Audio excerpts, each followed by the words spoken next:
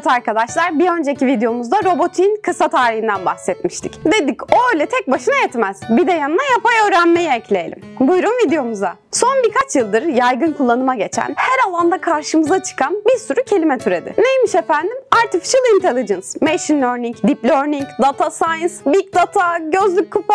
Gözlükle kupa olmadı buraya galiba. Olmadığını nasıl anladık? Bir kere İngilizce değil. Bir de onlar epeydir yaygın kullanımda. Bakın mesela hemen nasıl anladınız? Şablona uymadı. Gelelim yapay zeka isimine. Bu isim ilk kez John McCarthy tarafından ortaya atılıyor. Peki yapay zekadan bu kadar konuştuk da yapay öğrenme ne? Yapay öğrenme denince akla beyindeki nöronların yapay olarak taklit edilmesinin geldiğini çok iyi anlıyorum. Ben de yıllarca yapay öğrenmeyi bundan ibaret sanmıştım. Öncelikle bilmemiz ve barışık olmamız gereken bir gerçek var. Yapay öğrenme ve yapay zeka bir makineye tam anlamıyla bir zihin sağlamaz.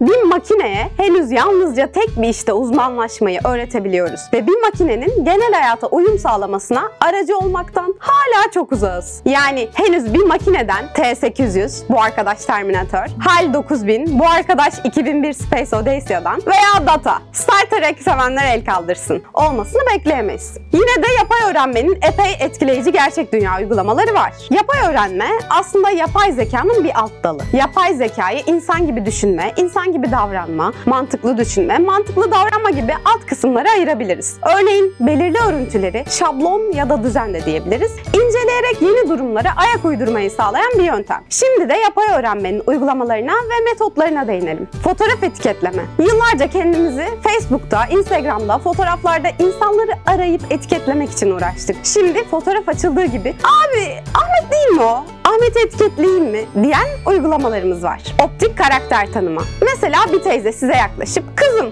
gözüm görmüyor şu rakam 3 mü 8 mi diye sorarken artık fotoğrafını çektiğiniz ya da dijital ortama aktardığınız karakterler hızla ayırt edilebiliyor otonom araçlar. Bunları yola koyuyorsunuz, kendi kendilerine gidiyorlar. Nasıl mı? Şeritleri, tabelaları ve diğer araçları anlayarak. Tabii ki henüz İzmit yürüyüş yolunda kullanmamakta fayda var. İstenmeyen e-posta filtreleme. E-postaların içeriklerine hızlıca bir göz gezdirerek size gelen e-postanın ayırt edilmesini sağlıyor bu filtreler. Üstelik ta 2001'den beri. 2001 çok da eski değilmiş yahu demeyin. Bu filtreler insan olsalardı şu anda üniversite sınavına hazırlanıyorlardı. Duygu analizi. Metinlere bakarak metnin içeriğinin olumlu, olumsuz veya nötr bir mesaj içerdiğine karar verebiliyorlar.